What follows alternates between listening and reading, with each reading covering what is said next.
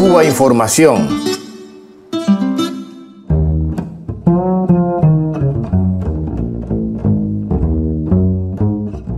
Mucho hablan los medios sobre Grecia y poco sobre Puerto Rico, la colonia de Estados Unidos. Su gobernador reconocía en comparecencia televisiva que no puede pagar los más de 73 mil millones de dólares de su deuda pública. La Administración Federal ha creado una comisión especial similar a la creada para enfrentar la bancarrota de la ciudad de Detroit, que suspendió pagos en 2013. A pesar de sus 2 millones de automóviles y sus lujosas urbanizaciones, el 72,6% de la población de Puerto Rico vive ya en precarios niveles de pobreza. Hace seis años se realizó un despido masivo de más de 21 mil funcionarios.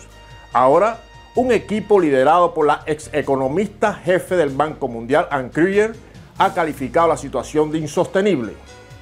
Las recetas que propone son las de siempre.